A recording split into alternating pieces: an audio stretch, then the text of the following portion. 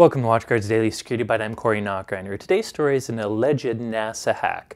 Over the weekend, a black hat or say hacktivist group calling themselves AnonSec released a post where they have claimed that they were able to infiltrate NASA's network and steal over 250 gigabytes of drone information. A number of news organizations picked up on the story early this week and are still trying to figure out if this story is true. In any case, here's what happened. On the weekend, on Pastebin, AnonSec released what they call an e-zine that kind of shares the story of this alleged hack. According to the e-zine, this whole hack started because one of NASA's computers was infected by a GoZ Trojan, or a bot client. And apparently AnonSec claims to have bought access to this bot from a Chinese hacking organization. Now, once they had access to that one Trojan computer, they found they didn't have root access, so they had to use local flaws to elevate their privilege. But once they had the beachhead on NASA's network, they claimed to then use that computer to scan the rest of the organization and start learning about all the different IPs and networks in NASA's network.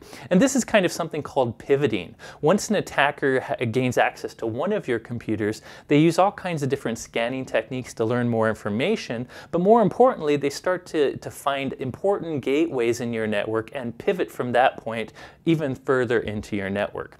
In any case, without going in all the details, which they have in their alleged story of this hack, the attackers eventually found some network storage devices, apparently uh, world books from Western Digital, which stored tons of information. And they later learned that apparently this was flight plan information for NASA's drone flights and things like uh, video from those flights and other things like that. They even claimed to have adjusted files on these network stores which would affect the actual flight plan of NASA's drone, although none of this has been confirmed. So anyways, the story goes into a lot of detail about NASA's bad operation security or OPSEC. They say there was a lot of bad default passwords, a lot of low security passwords used by administrators, a lot of unpatched systems, and on and on and on. One of the biggest issues according to AnonSec is the fact that once you get past the hard perimeter of the network, the soft chewy middle was very easy for them to jump around in.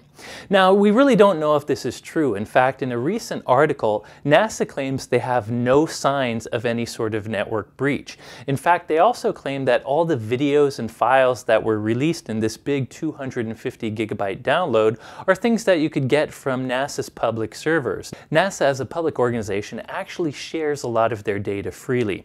So it's really hard to tell whether or not AnonSec's allegations of this breach are really true. I guess we'll learn over time, but it really is an interesting story.